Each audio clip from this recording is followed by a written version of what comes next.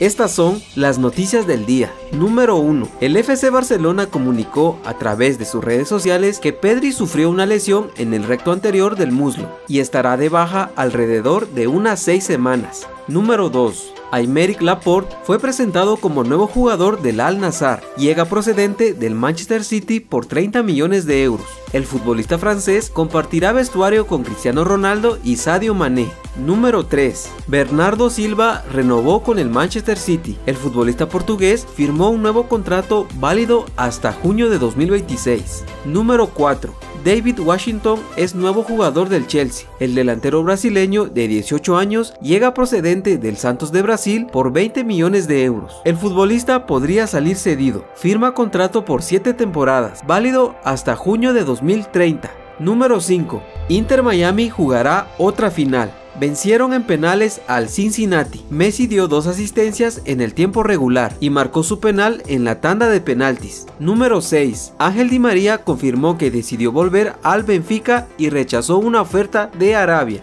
Me llamaron de Arabia Saudí. Tuve muchas llamadas. Los números que ofrecen son increíbles, pero elegí con el corazón. Quería venir al Benfica. Número 7. Carlo Ancelotti informó que el Real Madrid no fichará a ningún delantero más. Esto cierra la posibilidad del fichaje de Kylian Mbappé.